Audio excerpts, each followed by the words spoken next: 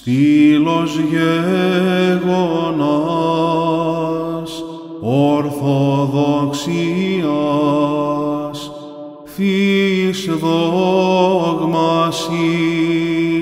υποστηρίζον την Εκκλησίαν ιεράρχα Αθανάσιε πατρί των Υιών ομοουσιών ανακηρύξας κατήσχυνας Άριον. Πάτερος Ιε Χριστόν τον Θεόν οικετευε δωρήσαστε ημίν το Μέγα έλεος.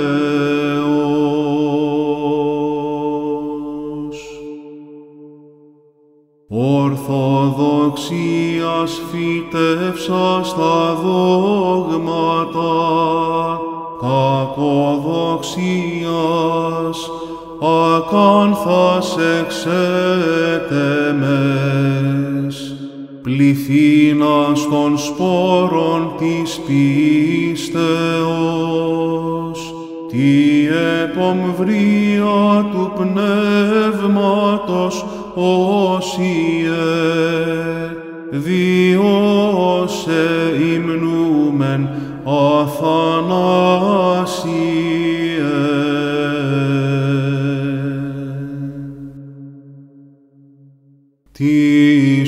Ορθοδοξίας σάλπιγς χρυσή, όφθης ιεράρχα, ομοούσιον το πατρί, των Υιών κηρύττων και πνεύματι Αγίο, διώσε Αθανάσιε μεγαλύνομεν.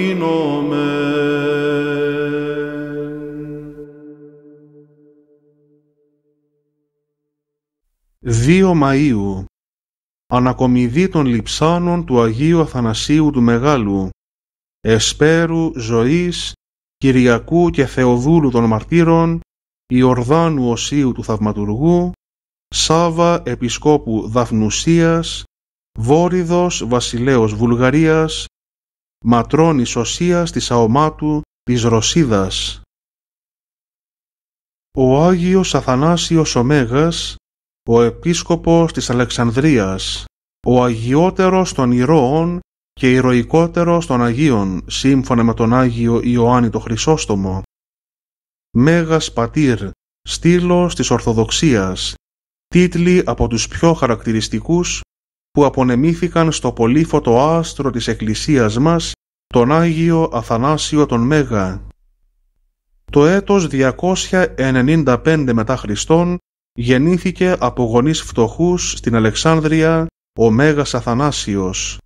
Οι γονείς του ήταν φτωχοί, αλλά όμως ήσαν πλούσιοι σε αρετές και ορθόδοξη πίστη.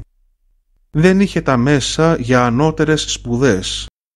Όμως ο Θεός τον πρίκησε με πλούσια διάνοια και αφού πήρε τη στοιχειώδη εκπαίδευση, έπειτα αυτοκαλλιεργήθηκε και έφτασε σε μεγάλα ύψη ουρανίας σοφίας περίπου το 320 σε ηλικία 25 ετών χειροτονείται διάκονος από τον Πατριάρχη Αλεξανδρίας Αλέξανδρο, μαζί με τον οποίο ο Αθανάσιος λαμβάνει μέρος στην πρώτη Οικουμενική Σύνοδο στην νίκαια της Βυθινίας και συντρίβει τότε την αίρεση του Αρίου. Το 328 πεθαίνει ο Αλέξανδρος και για τον Αθανάσιο πλησίασε μία μεγάλη ώρα.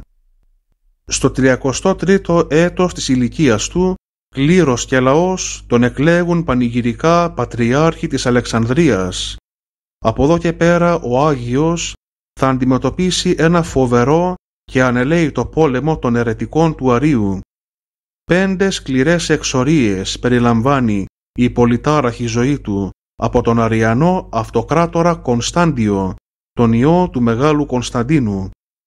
Όμως με πίστη, θάρρος, αγωνιστικότητα και υπομονή κατορθώνει να βγει νικητής και συντρίβει τους προβατόσχημους λύκους τους αιρετικούς. Και έτσι ο λόγος της Αγίας Γραφής να αγωνίζεσαι τον καλόν αγώνα της πίστεως και ας τρέχουμε με υπομονή τον αγώνα που προβάλλει μπροστά μας, γίνεται από τον Άγιο Αθανάσιο πραγματικότητα και αναμφισβήτητο γεγονός. Εκοιμήθη στις 2 Μαΐου του 373 μετά Χριστόν σε ηλικία περίπου 75 με 77 ετών. Πρέπει επίσης να αναφέρουμε ότι ο Μέγας Αθανάσιος διακρίθηκε και ως συγγραφεύς πολυγραφότατος και σπουδαιότατος. Όταν ήταν διάκονος ακόμη έγραψε τις πραγματείες του κατά των εθνικών και περί της ενανθρωπίσεως του Θεού Λόγου. Η κυρίως μνήμη του Μεγάλου Αθανασίου πρέπει να εορτάζεται την Δευτέρα Μαΐου, όπου και ιστορικά είναι αποδεδειγμένη η κοίμησή του. Επίσης ο Μέγας Αθανάσιος εορτάζεται και στις 18 Ιανουαρίου μαζί με τον Άγιο Κύριλο Αλεξανδρίας, η σύναξη των Αγίων Κυρίλου και Αθανασίου Πατριαρχών Αλεξανδρίας, διότι οι Αλεξανδρείς ήσαν σε διαμάχη για το ποιος εκ των δύο ήταν μεγαλύτερος, ο Κύριλος ή ο Αθανάσιος. Και έτσι λοιπόν η Εκκλησία απεφάσισε να τους εορτάζει και τους δύο από κοινού στις 18 Ιανουαρίου διότι δεν μπορούμε να ξεχωρίσουμε κανέναν από τους Αγίους. Και οι δυο τους, Αθανάσιος και Κύριλος, προσέφεραν στην Εκκλησία τα μέγιστα. Η Εκκλησία μας απέδωσε πολλές τιμές στον Άγιο Αθανάσιο διότι ανεδείχθη ο ηρωικότερος των Αγίων και ο αγιότερος των ηρώων. Ιδού πως χαιρετίζουν τον Μέγα Αθανάσιο οι εκκλησιαστικοί ύμνοι. Ως την μεγάλην της Εκκλησίας Σάλπιγγα, τον αρετών κανόνα, τον νουν των περίβλεπτων, των πατριαρχών την κρυπίδα, την οξυτά την γλώσσαν, τον διαυγή οφθαλμών, τον λαμπτήρα των φαϊνότατων, τον πέλεκιν τον κόπτοντα πάσαν ύλην ερέσεων και καταφλέγοντα το πυρίτο του πνεύματος. Και ακόμη, ως τον απερίτρεπτον στήλων, τον άσης των πύργων των χρυσορώαν νήλων, της αθανασίας των επώνυμων, των πυρσών των μετάρσιων, των ακατάβλητων πύργων, των ταξιάρχην της Θεολέκτου παρατάξεως, των θεοφόρων της χάριτος ποταμών, αρχιερέων το κλέος, αριστέα των αίτητων, τον συγκόψαντα τας σφάλαγγα των ερέσεων τη δυνάμει του πνεύματος, τον στήσαντα της Ορθοδοξίας τα τρόπεα καθόλην την οικουμένην. Ο Άγιος Αθανάσιος είναι ο Άτλαντας της Ορθοδόξου πίστεως. Ας προσέξουμε λοιπόν αυτά τα χαρακτηριστικά του Μεγάλου Αθανασίου και ας αγωνιστούμε να τον μιμηθούμε έστω στο ελάχιστο, όσο μπορεί ο καθένας μας.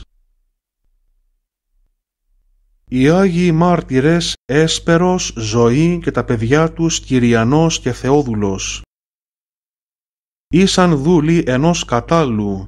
Κάποτε αποφάσισαν να του δηλώσουν ότι οι ψυχές τους ανήκουν στον Ιησού Χριστό, που τους ελευθέρωσε με το αίμα του.